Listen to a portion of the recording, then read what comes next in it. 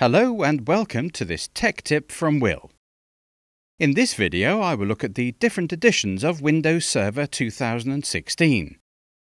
By the end of this video you'll be familiar with the different editions of Windows Server 2016 and will be able to choose the right one for your needs. So let's get started. In this video I will look at five different editions of Windows Server 2016. I will start by looking at the three main editions Windows Server 2016 Essentials, Windows Server 2016 Standard, and Windows Server 2016 Data Center. Later on in this video, I will look at two more specialized editions Windows Hyper-V Server 2016 and Windows Storage Server 2016. It's worth noting at this point that there is no multi-point edition of Windows Server 2016. In earlier versions of Windows Server, Multipoint was a special edition that allowed multiple users to share a single computer. Multipoint Edition essentially works like this. Each user is given their own workstation, which consists of a monitor, a keyboard, and a mouse. These workstations are then connected to the multi-point server. Despite being connected to the same physical computer, each user would receive their own independent Windows experience. This type of setup was commonly found in classrooms and lab environments. With Windows Server 2016, there is no standalone multi-point edition. Instead, the multi-point edition has been superseded by a new role called the multi-point services role. When the multi-point services role is installed, you can turn your Windows Server 2016 server into a multi-point server. Now that we've identified the different editions of Windows Server 2016, let's now take a look at what each edition can actually do. The first edition I will look at is the Essentials edition.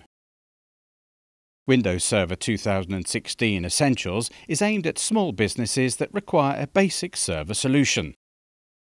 Since it's aimed at smaller organizations, the Essentials edition is designed to operate as a single server network, although it can operate alongside other servers if necessary. With the Essentials edition, there are limits imposed on the number of users and devices that can connect to the server. To be more specific, the Essentials edition can support up to 25 users and 50 devices, making it suitable only for the smallest of networks. When you purchase the Essentials edition, you purchase the right to install the operating system only once. You can install Essentials either on a physical computer or a virtual server, but not both. Also, when installing Essentials, there are no server core or nano server interfaces available. With Essentials, you'll always receive the desktop experience interface, and there's nothing the administrator can do to change this. According to Microsoft, Windows Server 2016 Essentials can support up to two physical processors and rather interestingly up to 64 gigabytes of RAM memory. The reason why I say interestingly is because in my opinion this memory limit is extremely low. Considering that even Windows 10 Home Edition can support up to 128 gigabytes of RAM memory, 64 gigabytes is an interesting limit.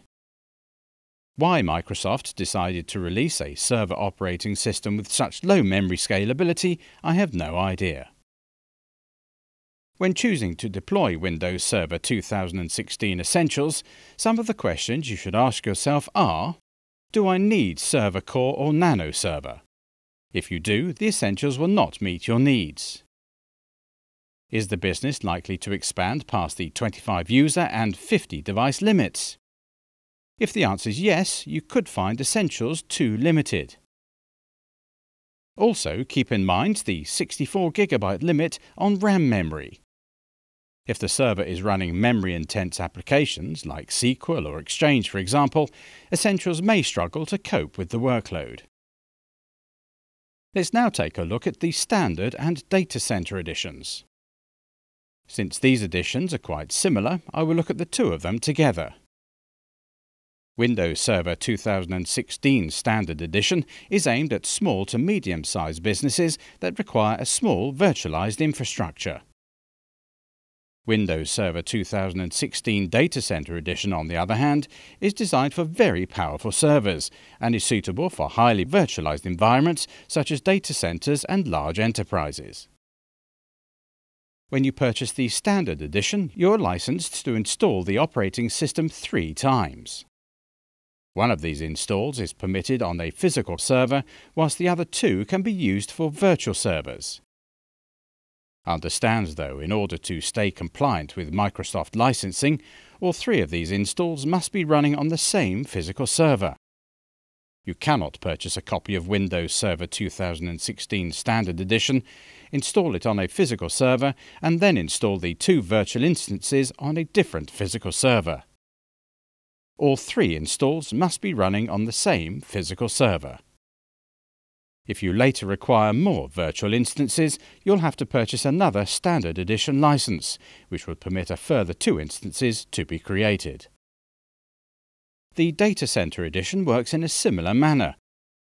When you purchase a Data Center license, as with the Standard Edition, you can install Windows Server 2016 just once onto a physical server.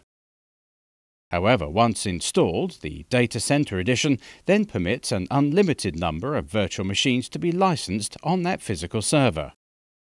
In other words, you can create as many Windows Server 2016 virtual instances as you want on that physical server at no additional cost.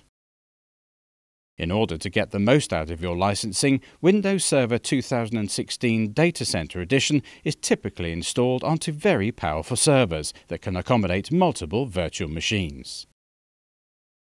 Unlike the Essentials, both the Standard and Data Center editions allow the administrator to choose their preferred interface at the time of installation, either Desktop Experience or Server Core. The Desktop Experience interface provides a full graphical user interface, including File Explorer, a desktop, taskbar, and a Start menu. With the Server Core interface, the majority of the graphical interface is stripped out.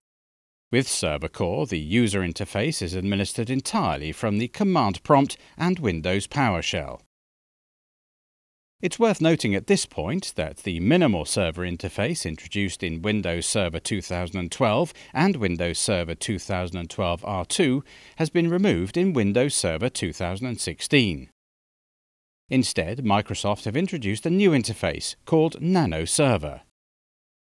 Nano Server is only available in Windows Server 2016 Standard and Data Center editions. Of the different interface types, Nano Server is the most lightweight. So lightweight, in fact, that you cannot log into it locally. Instead, Nano Server is administered entirely from remote. From a hardware standpoint, both the Standard and Data Center editions can address more hardware than the Essentials edition, up to 64 physical processors and up to 24 terabytes of RAM memory. In terms of feature set, both the Standard and Data Center editions support all of the core Windows Server 2016 features. However, Windows Server 2016 Data Center Edition includes a few additional features that aren't available in the Standard Edition, including Storage Spaces Direct, Storage Replica, Shielded Virtual Machines, and a new networking stack with additional virtualization options. When deciding whether to deploy Windows Server 2016 Standard or Data Center Edition, the main question you should ask yourself is how many virtual instances, if any, do I require? If you need just one or two virtual instances, then the Standard Edition should meet your needs perfectly. However, if you plan on deploying more virtual instances, either now or in the future, then you might want to consider the Data Center Edition instead. Another important consideration is whether you plan to use any of the features exclusive to the Data Center Edition, such as shielded virtual machines. If you do plan on using these features, then you have no choice but to purchase the Data Center Edition, since the Standard Edition doesn't include these features. That covers the three main editions of Windows Server 2016. In the real world, these are the editions you're most likely to come into contact with, but there are a couple of specialized editions too, which you might run into.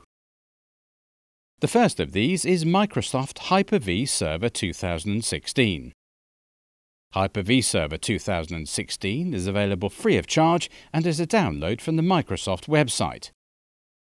As the name suggests, Hyper-V Server 2016 is a lightweight, out-of-the-box hypervisor and is designed to do nothing other than host virtual machines with Hyper-V. When you install Hyper-V Server 2016, you essentially get a server core interface with the Hyper-V role pre-installed. All the administrator has to do is to configure the role. Since there is no desktop experience interface available, all local administration of Hyper-V Server 2016 is done by the command line and by using Windows PowerShell. Since Hyper-V Server 2016 is nothing more than a hypervisor, it comes with an extremely limited set of roles and features. In fact, the only roles and features that can be installed are those that we can integrate with Hyper-V, such as failover clustering to create highly available Hyper-V clusters, file and iSCSI services to connect your virtual machines to shared storage devices, and Windows Server Backup so that you can back up your virtual machines. It's also worth noting that Hyper-V Server 2016 can be installed completely free of charge and requires no licensing whatsoever. That being said, all virtual machines that run on the server do have to be licensed. Unlike the standard and data center editions, you get no free virtual machine licensing with Hyper-V Server 2016. The final edition I will look at is Windows Storage Server 2016. Windows Storage Server 2016 works slightly differently to the other editions we've looked at. Windows Storage Server 2016 can be obtained either directly from Microsoft or from hardware distributors approved by Microsoft. Typically, Windows Storage Server 2016 comes either pre-installed or bundled together with some kind of hardware storage device. According to one of the Microsoft blogs, Windows Storage Server 2016 comes in two different editions the Workgroup Edition and the Standard Edition. The edition you end up with depends entirely on the type of storage device you purchase. Let's look at some of the differences between the two editions. The first difference is the number of CPUs. With the Workgroup Edition, just one CPU is supported, whereas the Standard Edition can address up to two CPUs. When it comes to RAM memory, the Workgroup Edition can address up to 32 GB of RAM, whereas the Standard Edition supports an unlimited amount of RAM. In terms of disk support, Workgroup can support a maximum amount of six disks, making it suitable only for smaller storage devices, whereas Standard supports an unlimited number of disks. From a user limit standpoint, the Workgroup Edition has a maximum limit of 50 users. Standard, on the other hand, supports an unlimited number of users. Also, the Workgroup Edition imposes limits on the number of concurrent SMB connections to 250 connections, whereas the Standard Edition has no such limits and supports an unlimited number of connections. Beyond this, both editions of Storage Server 2016 support SMB and NFS file sharing, Active Directory domain join, iSCSI target and boot functionality, and Windows storage spaces. However, the Standard Edition also includes some advanced storage features which are not found in the Workgroup Edition, namely deduplication, branch cache, and virtualization support. Well, that concludes our look at the different Windows Server 2016 editions. In the next video, I'll demonstrate how to install Windows Server 2016 and will perform a clean installation of Windows Server 2016 Data Center Edition. I hope that you've enjoyed this video from Tech Tips from Will. For more videos covering Windows Server 2016, check out our YouTube page. And don't forget to support our videos by liking them and subscribing to our channel. Many thanks, and we'll see you on the next Tech Tip.